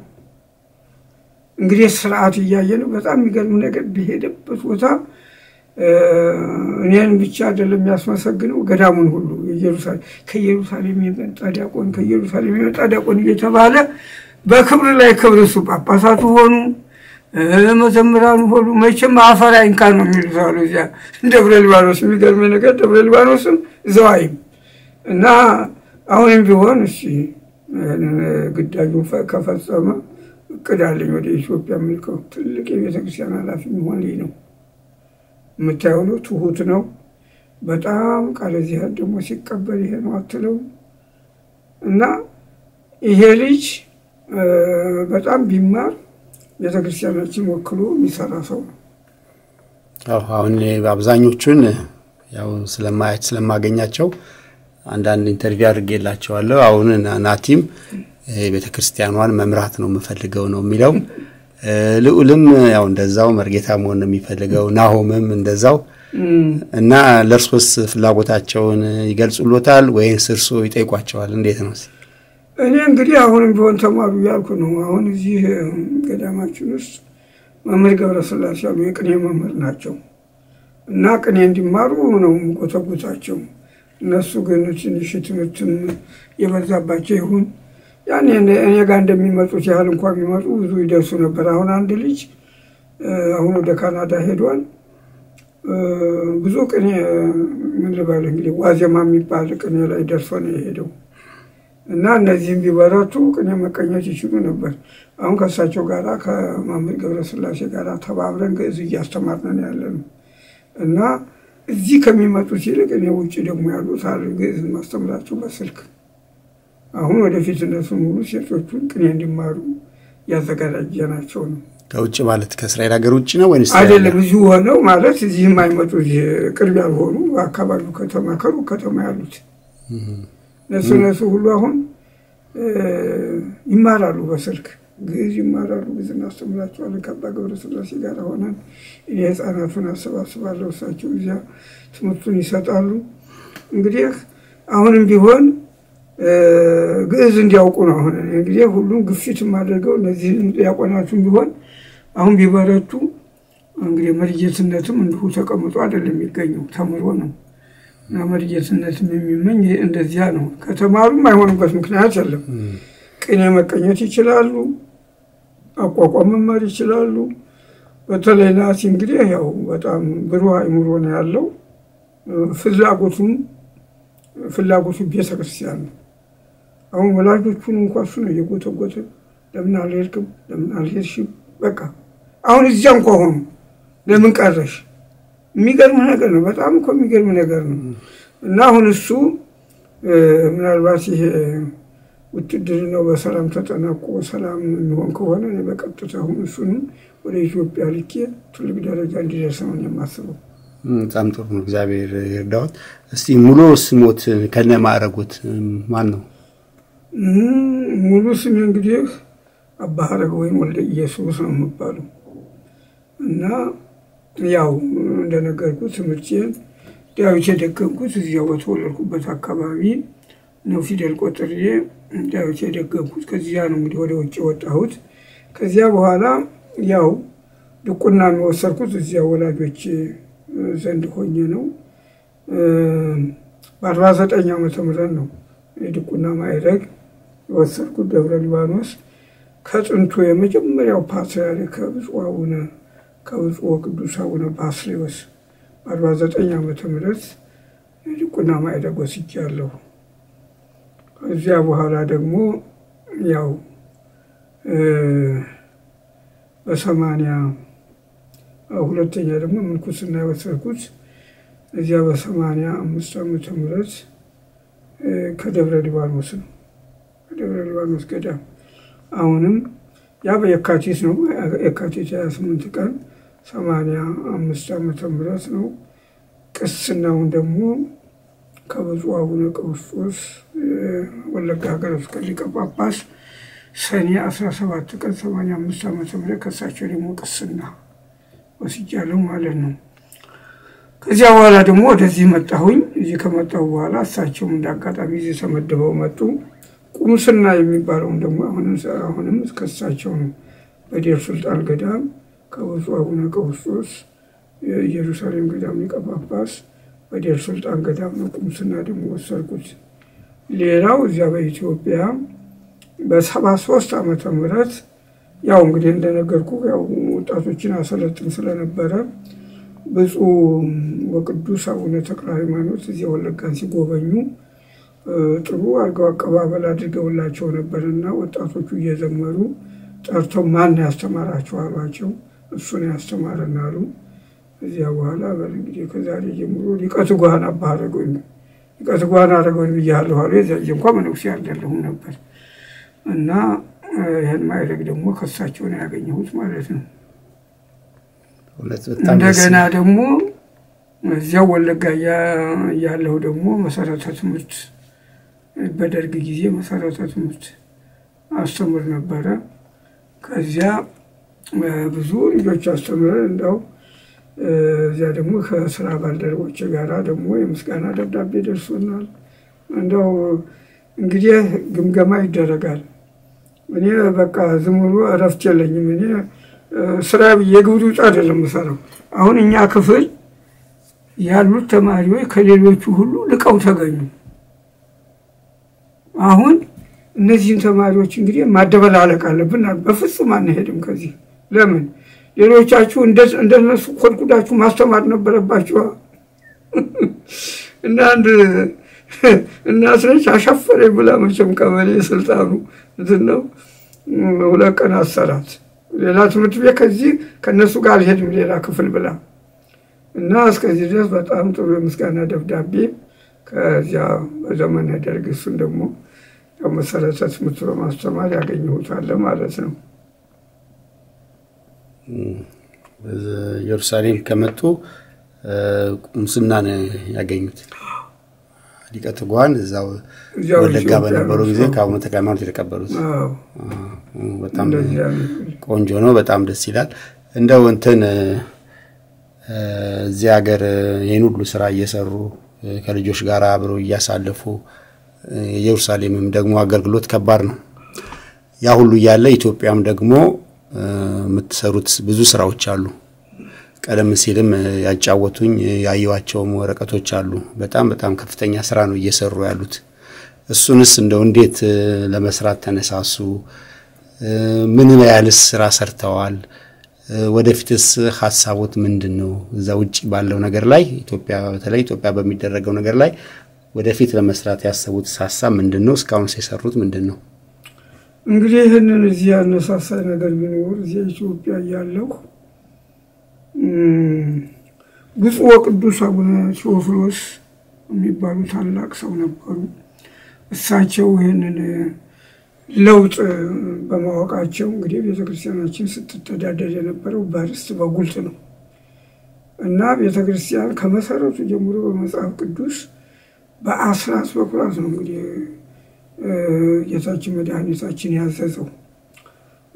ነገደ እስራኤልን ኢያሱ ርስት ሲያካፍል ለአስራ አንዱ ነገደ እስራኤል ብቻ ነው ያካፈለው። አንደኛው ነገድ የሌዊ ነገድ ርስት አልተሰጠውም። ምክንያቱም ርስትህን የኔ ብሎታል እና ከዚያ ከማንኛውም ከእስራኤል ሰው ከገበሬውም፣ ከጸሐፊውም፣ ከነጋዴውም ከምኑ ከአስር አንድ ማውጣት አለበት በመጽሐፍ ቅዱስ መሰረት። በዚያ ነው እነዚያ የሌዊ ልጆች ካህናቶች የሚገለገሉት በዚያ ነው። እነሱ የእነሱ ስራ እግዚአብሔርና ሰውን ማገናኘት ነው በጸሎት እንግዲህ በዚያ የተሰራ እኚህ አባት ደርግ ከመነሳቱ በፊት ቀደም ብለው ይሄን ያሰቡት እና ይቺ ቤተክርስቲያን ርስቷ ከተወሰደ በቃ እርቃኗን መቅረቷ ነው። በመጽሐፉ ቅዱስ መሰረት በአስራቱን ማውጣት አለባቸው ምዕመናን ብለው ሰበካ ጉባኤ የሚባል ነገር አቋቋሙ። ቃለ ዓዋዲ የሚባል መመሪያ አዘጋጅተው በዚያ ሰበካ ጉባኤ የሚባል ነገር ተቋቋመ። ያ ሰበካ ጉባኤ ማለት ከምዕመናን፣ ከካህናት፣ ከወጣቶች ተውጣቶ ነው እንግዲህ እንትን የሚለው በዚያ እንግዲህ አሁን ሲያቋቁሙ እሳቸው ገና ህዝቡ ስላለመደ እንግዲህ ማንም ሰው እግዚአብሔር ከሰጠው ከሰራው ከአስር አንድ የእግዚአብሔር ነው። ይህን ግን ልማድ ስለሌለው ህዝቡ ከአስር አንድ አውጣ ቢሉት ስለሚከብደው ምን አደረጉ እሳቸው ከፍ ያለ እንደው ገቢ ያለው በአመት አስራ ሁለት ብር እንዲከፍል መካከለኛ ደግሞ ያለው በአመት ስድስት ብር እንዲከፍል አድርገው በዚያ ወስነው ዘመቻ አደረጉ እንግዲህ ማለት ነው። ሰበካ ጉባኤ እንዲቋቋም አሁን የፈሩት ነገር አልቀርም። ደርግ መሬት ስላላስተዋለና አወጀ። ከዚያ በኋላ እርቃን መንቀረችው ቤተክርስቲያን እና ካህናት ምንም የሚልሱት የሚቀምሱት ነገር አልነበራቸውም። አሁን ያ ሰበካ ጉባኤ በመቋቋሙ አሁን ዛሬ ካህናት ከፍተኛ ደሞዝ ነው የሚያገኙት። አስር ሺህ አስራ አምስት ሺህ ያገኛል። አሁን አንድ ዲያቆን አንድ ቄስ አንድ በቃ ድሮ የሚያገኙት ነበረ በአመት አስር ብር ወይም በመንፈቅ ወይም ደግሞ በአመት ነበር እንትን የሚሉት። አሁን ዛሬ እየተሻሽሎ የዚያን ጊዜ እንግዲህ እኔ እዚያ ሰበካ በማቋቋም ተመድቤ ሰበካ ጉባኤና የሰንበት ትምህርት ቤቶችን ነበር የማቋቁመው። አሁን እዚህ ስመጣ ይሄ ገዳም እርቃኑን ነው፣ ምንም ገቢ የለውም። የሚገርም ነገር እና ገቢ የለም። ለምንድን ነው እንደዚህ የማናደርገውና ለዚህ ለገዳሙ ገቢ የማናስገኘው የሚል መንፈስ መጣብኝና እዚህ የነበሩ ሰዎች ደግሞ አያውቁትም። ይሄንን ከገዳማት የመጡት የብዙ እንዲህ አስራት ከምእመናን አልነበሩ። እንደዚህ ሲሉ አልገባቸውም ነገሩ። እኔ ግን ቀስ እያልኩኝ በተለይ እንደው በእኔ አባትነት ስር የሚመጡትን እያሳመንኩ በየወሩ አስራት በኩራታቸውን ያወጣሉ። ከዚያ በኋላ ለዚህ ለገዳማችንም እንደገና ደግሞ በጣም ለተቸገሩ የገጠር አብያተ ክርስቲያናትና ገዳማትን ከዚች እያካፈል ለዚህም መጀመሪያ ለዚህ ነው መሰረቱ። ምክንያቱም ምእመናን አስራት በኩራት መክፈል ያለባቸው ለምታገለግላቸው ቤተክርስቲያን ነው። ስለዚህ ለዚህም እናወጣለን። ለዚያም እያደረኩኝ አሁን ቅድም አሳይቻለሁ ዝርዝሩን ከሰላሳ ዘጠኝ ገዳማት የረዳናቸው ማለት ነው። ይሄ ደግሞ ስንረዳ ደግሞ በአንድ አካባቢ አይደለም፣ በጠቅላላም በጠቅላላ በሀገሪቷ ውስጥ ያሉ ገዳማት ከሰሜን ጀምሮ እስከ ደቡብ ድረስ ከምስራቅ እስከ ምዕራብ ከሰሜን እስከ ደቡብ ድረስ ባሉት በመጠኑ ቢሆን ነው እንግዲህ እንትን ያልነው።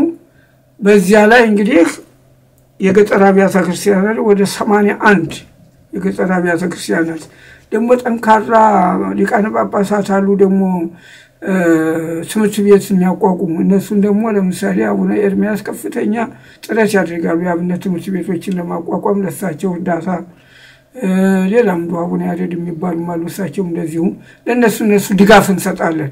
አሁን ከዚያ በኋላ እኔ ምን አሰብኩ እንዲ እኔ ለምንድን ነው ራሴን ችዬ ለአብነት ትምህርት ቤት መርጃ ለምን አላቋቁምም የሚል መጣብኝ። ለሰው ድጋፍ ከምሰጥ እኔ ራሴ ለምን አላቋቁም ብዬ ጀመርኩ።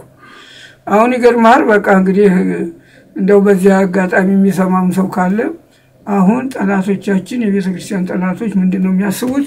የኢትዮጵያ ቤተ ክርስቲያን ምንጯን ለማድረግ የአብነት ትምህርት ቤቶቹን ማጥፋት ነው የሚሉት።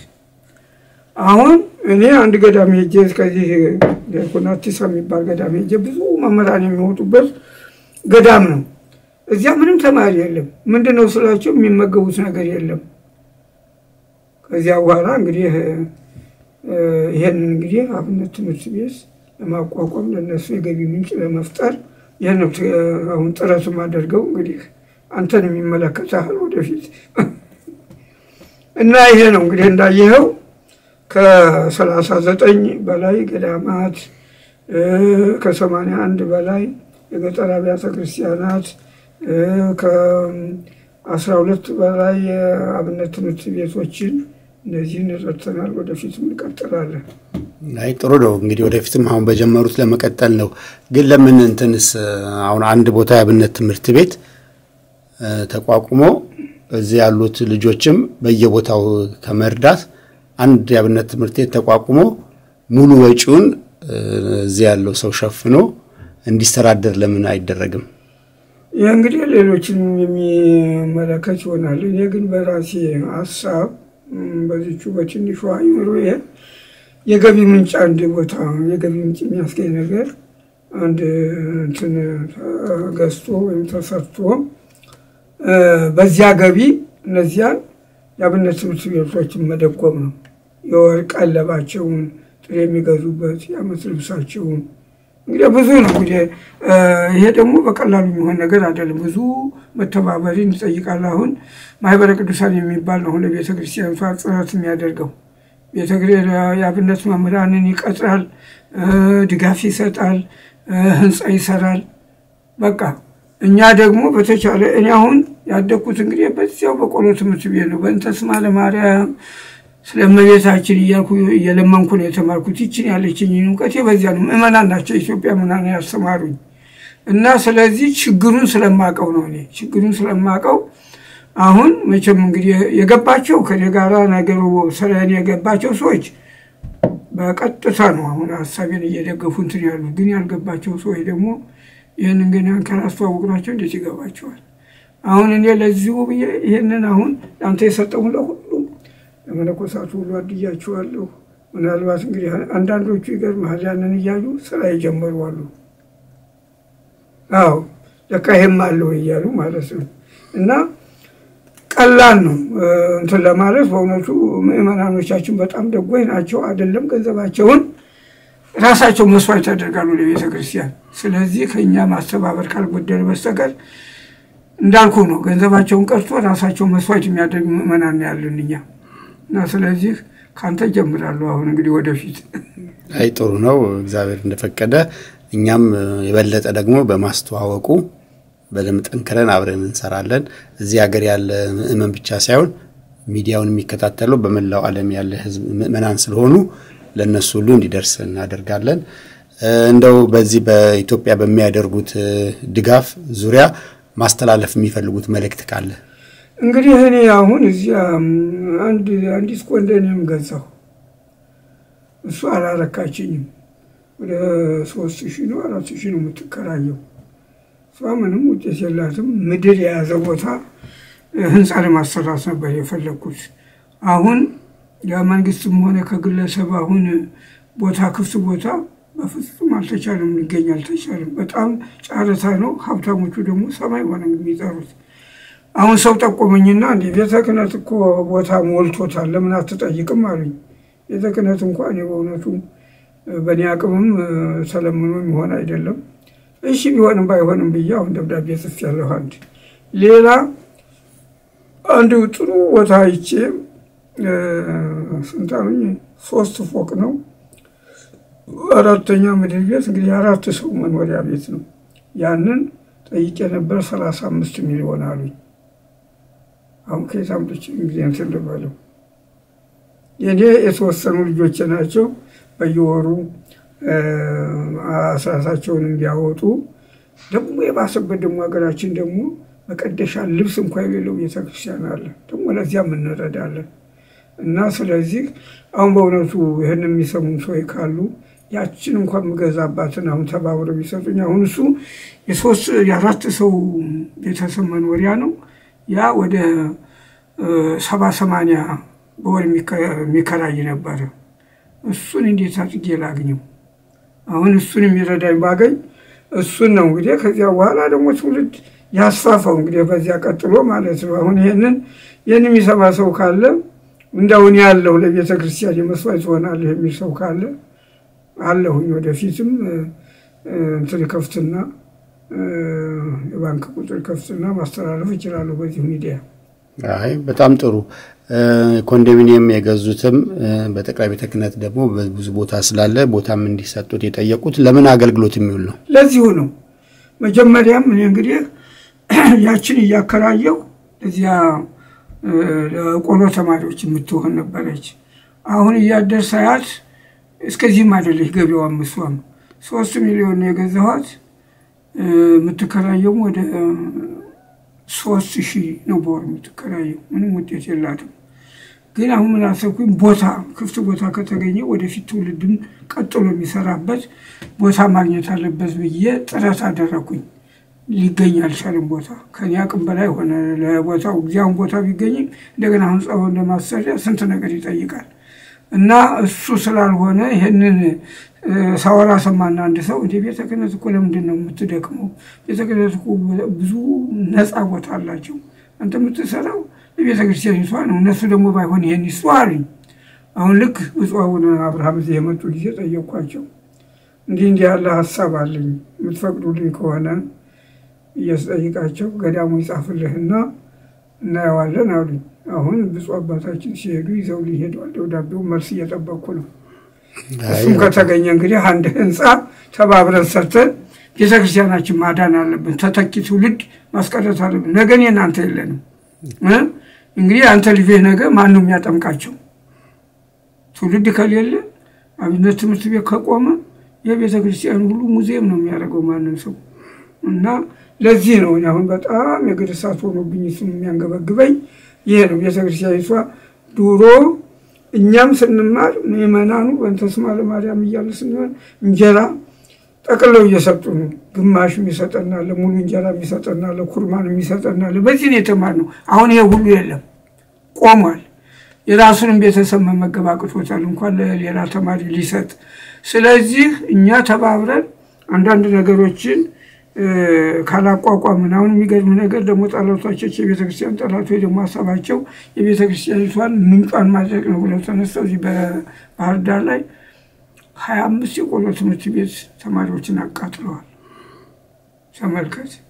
አሁን ይህን እያየ ምንድን ነው የምንሰማው? ከንፈራችን እየመጠጥን ብቻ መቀመጥ ነው መሆን የለበትም። ምክንያቱም ድር ቢያብር ነው የሚባለው አይደለም እና ተባብረን ይህን ማናደርግበት ምንም ምክንያት የለም። ከዚህ የበለጠም መስራት እንችላለን እና ይህንስ እንግዲህ አንተም በጓደኞችህም በዚህ በሚዲያውም እንደተበጨራጭረን ሰው እንደሚረዳ ሰው ካገኘን በቀላል ጊዜ ውስጥ ይህንን ቦታ ገዝተን ስራ ላይ መዋል እንችላለን። አዎ እግዚአብሔር ፍቀድ። በጣም ጥሩ ነው።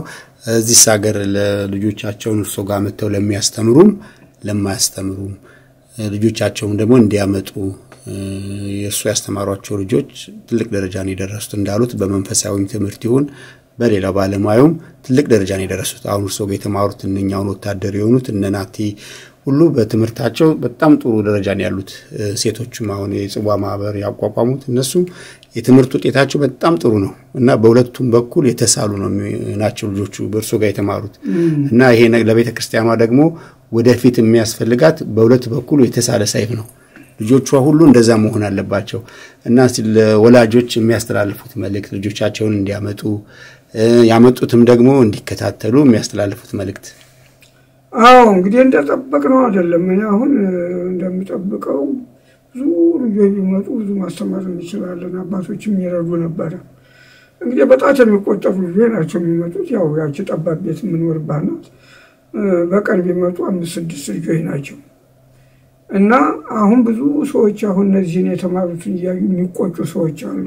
ግን ቁጭቱን ያደርጋል። ልጆቻቸውን አምጥተው ቢያስተምሩ ነበር እና ከሆነ በእውነቱም ሁሉም ቢልኩ እዚህ እኛ ለማስተማር ችግር የለብንም። በእውነት አባቶችም በጣም ሰው ከተገኘ ለማስተማር ወደኋላ ብዙ ሊቃውንት ነው ያሉት። በእውነቱ አባቶች ስንት ሙያ እኔ እንኳ ምንም ሙያ የለኝም፣ ግን ከኔ የበለጠ ሙያ ያላቸው ለብዙ የሚተርፉ እውቀት ያላቸው አባቶች አሉ። ግን ማን ይሰብስብላቸው? አዎ ተሰባስበው ቢገኙ እኔ ለሙከራ ያህል ነው። ፈቃደኞች የሆኑትን ነው ማስገደድ አልችልም። የፈቀዱት ሰዎች ይመጣሉ፣ ደግሞ ሲፈልጋቸውም ይቀራሉ። የምታስገድድበትን የማስገድድበት ነገር የለም። ያው በፍላጎት የሚደረግ ነገር ነው። እነሱ በፍላጎት መጥተው ነው፣ እኔም በፍላጎት ነው የምንሰራው። እኔ አሁን ብትሆም ያስገድደኝ ሰው የለም።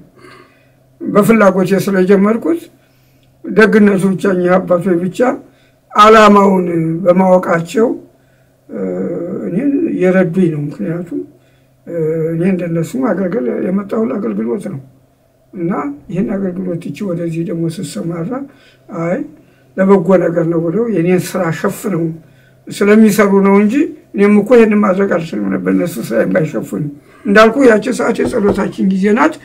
በአራት ሰዓት ነው እኛ ጸሎት የምንገባው። እነሱ በዚህ ከትምህርት ቤቱ የሚመለሱ በዚያች ሰዓት ነው። ከዚያ በኋላ ያው ይመሻል። ምንም አይማሩ ነበር። አሁን ያላወቁ ሰዎች ካሉ በእውነቱ እያመጡ ልጆቻቸውን ሊያስተምሩ እና እጃችን ዘርግተን እንቀበላለን። ችግር የለም። ገዳሙ የምሁራን እጥረት የለበትም። ብዙ ማድረግ የሚችል ገዳም ነው እና የቦታ እጥረት ነው ያለብን። ያው ቦታው ደግሞ እንግዲህ ከጊዜ ወደ በኋላ ደግሞ መቼም አዳዲሱ አባቶችን ማምጡተናል። እነሱም ደግሞ በአዲስ ጉልበት ስራ ይሰራሉ ብለን እናምናለን። አይ በጣም እናመሰግናለን። እግዚአብሔር ይስጥልን። እንደው እንደ መጨረሻ ጥያቄ እርስዎ ወደዚህ ሀገር ሲመጡ በሰማንያ ስድስት መሰለኝ አሉኝ። ወደዚህ ሲመጡ አረጋውያን የነበሩ አባቶች የዛን ጊዜ እርስዎ ወደዚህ ሲመጡ አረጋውያን የነበሩ አሁን ወይ በጡረታ ወይ ደግሞ በሕይወት የሌሉ የሚያስታውሷቸው ውስጥ ይንገሩን። አሁን እኔ ስመጣ እንግዲህ ብዙ ታላላቅ አባቶች ነበሩ። አባ አብርሃም፣ እነ አባ ሀብተ ጽዮን፣ አባ ዘካርያስ ብዙዎች ናቸው እና እኔ እንግዲህ ብዙ አባቶች ያው ያገኘኋቸው እዚያው እንግዲህ አብረን እንትን ብለን ቆበን የቀበርናቸው አሉ እና አባምዴ አሁን በቅርብ የሞቱት ደግሞ አሁን ደግሞ አብረን ስንሰራ የነበሩ አባቶች ደግሞ አሁን ደግሞ በእረፍት ላይ ያሉ አባ እና አባ ኒቆዲሞስ እነዚህን የመሳሰሉ አባ ብርሃኔ ሁሉ አሁን እዚያ በእረፍት ላይ ነው ያሉት። ነገ ደግሞ እኛ ደግሞ እንቀጥላለን ማለት ነው። እስካለን ድረስ ግን መንቀሳቀስ አለብን። በእውነቱ እነሱ ባቆዩት ላይ ነው። እኛ እንግዲህ መሰረቱ አባቶቻችን ናቸው። እነሱ በነበሩት አባቶች ላይ ተመስርተው ለእኛ አስረከቡ። እኛ ደግሞ አሁን እንደምን ብለን ለሚቀጥለው ትውልድ ማስረከብ ነው። እኛ አሁን ተረካቢዎቻችን አዘጋጅተን አምጥተናል። ወጣቶች ያቸው እንዳንተ እንዳንተ ያሉ እሳት እሳት የሆኑ መነኮሳት አሉ። እነሱ አሁን በአዲስ ጉልበት ይህን ገዳም በእውነቱ ትልቅ ደረጃ ለማድረስ ጥረት እያደረጉ ነው። እንግዲህ ያው ወደፊት እንግዲህ እኛ ደግሞ ወደ ረፍት ስንሄድ እነሱ ደግሞ ያውኑን እኛ ስራውን ማስረክበን ነው የምናልፈው። ዝም ብለን አይደለም። በሞቱም በምንም ልንለያይ እንችላለን። ዋናው ነገር እስካለን ድረስ ግን አቅም የፈቀደውን ነገር ለሀገር ወገን ማበርከት ነው። በጣም ጥሩ። እንደው ከነሳን አይቀር እነ አቡነ አብሳዲን ደርሰውባቸዋል ይመስለኛል። እኔም ደርሼባቸዋለሁ። እኔም ደርሻ ስንቱ ይጠቀሳል። እኔም ስለደረስኩባቸውና ከጠቀሷቸው አባቶች ደግሞ ረጅም ጊዜ እዚህ የቆዩ ናቸው እና እንደ የሰሙት ታሪክ ከሳቸው አለ። ለምን እኛ አሁን እንደዚህ interview ስናደርግ ከተጻፈው ታሪክ በተጨማሪ በሰው የሚተላለፍ ትውፊቶች አሉ። እነሱንም አብረን ለመያዝ አዎ እንግዲህ እነዚህን እንኳ መቼም እንግዲህ መዝላም እንዳንዘ እንትን እንዳንል የገዳማችንን ታሪክ አሁን ወደፊት እሱንም ለማዘጋጀት እየፈለግኩ ነው። መጽሐፍ ቢያንስ እንኳ የኛን በኢየሩሳሌም ያለን ይዞታ በቀላሉ እንትን ብሎ ምዕመናን እንዲያነቡት ለማድረግ ሀሳብ አለኝ እና ያንን በስፋት ወደፊት ብትጠይቀኝ እሱን በተጨባጭ ሁኔታ ፕሮግራም ይዘን አዎ ለራሱ ፕሮግራም ይዘን አዎ እንግዲህ እና አቡነ አብሳዲ በጣም ታላላቅ አባቶች ናቸው። በእውነቱ ይህን ገዳም ጠብቀው ያኖሩ ናቸው። እንደ ባለስልጣን አልነበሩም። ሰው ሲታመም ራሳቸው ሄደው ነው የሚያስታምሙት።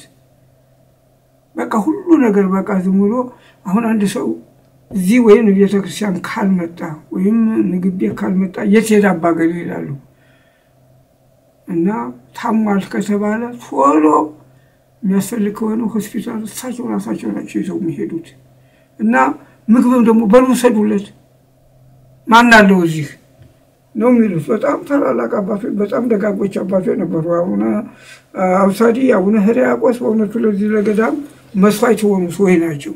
እነሱ እነሱ ስላቆዩ ነው አሁን እዚህ እንትን ያለው ያውም እነሱ በችግር ጊዜ ነው። አሁን ምንም የገዳሙ ገቢ ምንም አልነበረውም። እኔም አሁን ያንን እንትን ገቢ እንዲገኝ ለማድረግ የሞከርኩት ችግሩን አይችል የዚያ ጊዜ በጣም ችግረኛ ነው። በቁልፍ የተያዙ ቤቶች ናቸው በጠቅላላ። አሁን ይህ ግቢያችን አሁን ያለው ከቤተ ክርስቲያኑ በስተጀርባ በምስራቅ በኩል ያለው በቁልፍ የተያዘ ነበር። አሁን እሱም በቁልፍ እንደገና የገዛ ርስታችን እየገዛ ያስለቀቅ ነው። እዚሁ ግቢያችን ኪዳነ ምሕረት እንኳ ማለት ነው።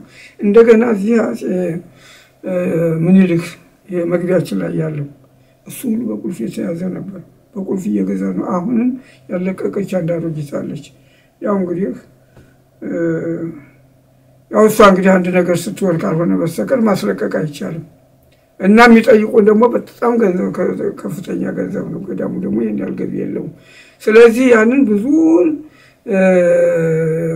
በቁልፍ የተያዙ ቤቶችን አስለቅቀን ያው ገዳሙ ትንሽ አሁን የዕለት ጉርስ እንኳ እንዲያገኙ ተደርገው ደግሞ የዕለት ጉርስ ያመስሉት ከሌለ ማን ይቀመጣል እዚህ?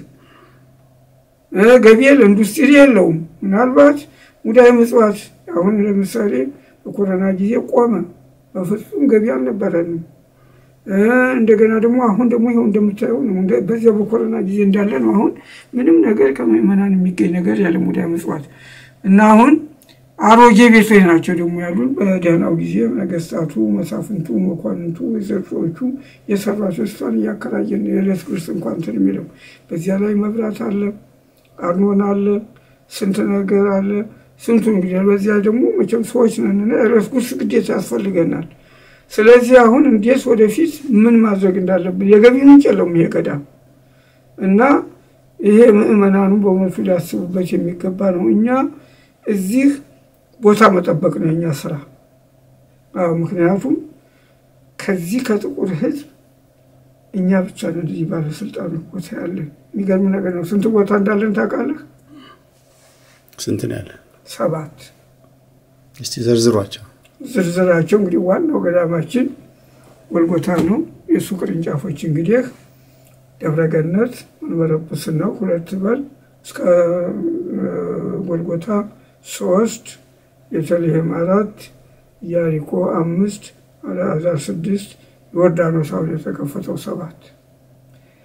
ደግሞ ይገርማል። ደግሞ እኛ እኮ ደግሞ እዚያ በቃናማ አካባቢ እኮ ናዝሬትም እኮ ፈልገን ነበር ቦታ አጥተን ነው እንጂ አላረፍንም። እና አሁን ያለፉት አባቶች ናቸው። ይህን ቤተልሔም አልነበረንም። እዚያ የጥንቱ ቦታችንን ወርሰውታል። አሁን ግን ሄደው አባቶች እዚያ ለልደት ሄደው ውጡ ውጡ እየተባሉ ጸሎት እንኳ ድርሰው ለመመለስ ስቃይ ነበር። አሁን ለምን ብለው አባቶች ያችን ቦታ አስገኝተውልን ዛሬ እንደልባችን እዚያ ቤተልሔም እንትን የምንለው ለዚህ ነው። እና አሁን እኛ እግዚአብሔር ደግሞ ቢረዳን ደግሞ ወደፊት ደግሞ እዚያው ናዝሬት ላይ ደግሞ አንድ ገዳም ለመመስረት እቅድ አለን። እግዚአብሔር ካሳካልን ከዚህ ቀደም ሄደን ነበረ ሊቀ ጳጳሳችን ይዘን ሄደን ስናበቃ ቦታው ሳይሆነን ቀረና ተመልሰን መጣን። አሁንም በማፈላለግ ላይ ነን ያለ ነው። ካገኘን እዚያ እንመሰርታለን። ስምንተኛ በጣም ጥሩ ነው። በጣም ደስ ይላል። የእንትንስ እንደው ጨዋታ እያነሳን ብዙ ጊዜ የወሰድኩቦት የጃንደረባው ኢትዮጵያዊ ጃንደረባ የተጠመቀበት ቦታ ቀደም ሲል ታሪኩም መጽሐፍ ቅዱስ ላይም ያለ ነው። ከኢትዮጵያ ጋር ይገናኛል። እዛስ የተሞከረ ሙከራ ነበረ በፊት እንደው እሱን ሳሁን እሱ እንግዲህ ምን መሰለህ አሁን ይህን ጃንደረባውን ይህን ቦታ የሚያውቀው ሰው አልነበረም እና ሌላ ቦታ የት እንደሆነ እንጃ ጃንደረባው የተጠመቀው እዚህ ነው እያሉ የኢየሩሳሌም ዝግጅት የሚያሳየው ሌላ ቦታ ነበረ። አሁን ብፁዕ አቡነ ማቴዎስ እንደተሾሙ ጊዜ አንድ ፕሮፌሰር የእናንተ ቦታ ይሄ ነው ታሪካችሁ እዚያ መጽሐፍ ቅዱስ የሚለው ምንድነው? እዚያ ወደ ጋዛ ነው የሚለው እና የጋዛ መሄጃው መውረጃው ይሄ ነው ብሎ ነግሯቸው ያን ሰውዬ ኢትዮጵያ ወስደው አስተዋውቀው እንዲሸለም አድርገውት ይመለሳል። አሁን ይህ ሰውዬ ተነሱ፣ ወደ ዘመነ ጊዜ ተነሱ። ያ ነገር ተዳፍኖ ቀረ። አሁን ሁለተኛ ተሹመው መጡ። እንደ ተሹመው እንደመጡ እኔ ነኝ ተከትያቸው አብሬያቸው የሄድኩት። አንዲት እማሆይ ደግሞ ነበሩ። አንድ ያልደረስክባቸው እንደሆነ ነው እንጂ እማሆይ አብርሃም የሚባሉ አንድ ነጭ ነበሩ። እሳቸውን ይዘን ይሄድ ነው። አሁን ስንሄድ ቦታውን አቅጣጫውን አጣ ነው እና የት እንሄዳለን? አንድ ወታደር ካምፕ ውስጥ ገባን እና እዚያ ጠይቀን ብዙ ማራቅም ነገሩ ግን እዚህ ቦታ ነው አሉን። ሄድን አየነው። ከዚያ በኋላ ካሳየነው በኋላ